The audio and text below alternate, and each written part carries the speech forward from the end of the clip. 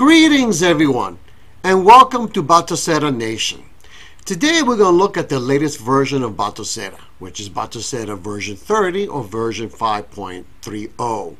And once again, the developers have done a tremendous and awesome job with Batocera. So, let's go ahead and look at the latest additions to Batocera version 30. So, here's the changelog to Batocera version 30. Foremost, for those of you who have a Raspberry Pi 4, you cannot upgrade it within Batocera itself. You have to do a manual uh, reinstallation of Batocera version 30. There's support now for Odroid Go Super. Uh, in fact, among the different operating systems for Odroid Go Super, uh, version 30 is the best one out there, by far.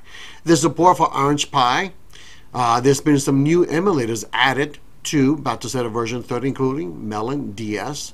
Uh, Sega Model 3 uh, was looking so forward to that. Uh, some new games, support for Half-Life. Uh, there's also support for some game engines out there.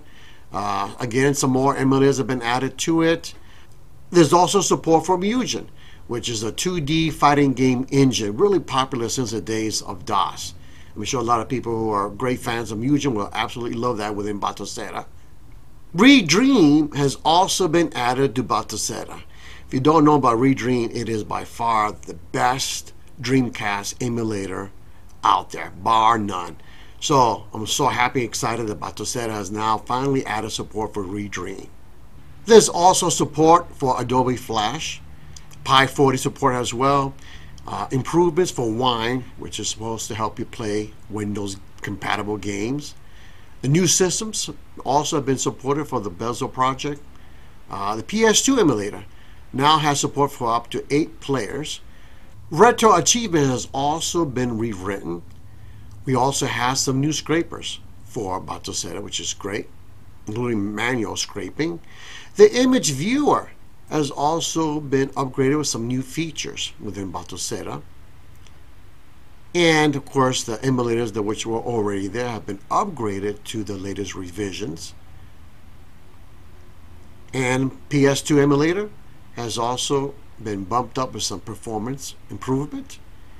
And one of the final things, we have a new trash can uh, within the file manager helps us to delete things. And last but not least, you can now finally install Batocera on a hard drive that's larger than 2 terabytes.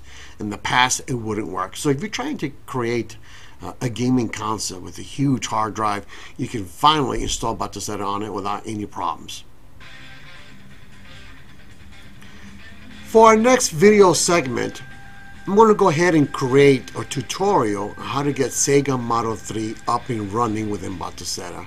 There's some things you need to do to get the work just right, including configuring your game controller. So I'm going to show you all the steps you need to do to get it up and running in no time. So look forward to that, and thank you for coming, and I'll see you next time on a Nation. Bye.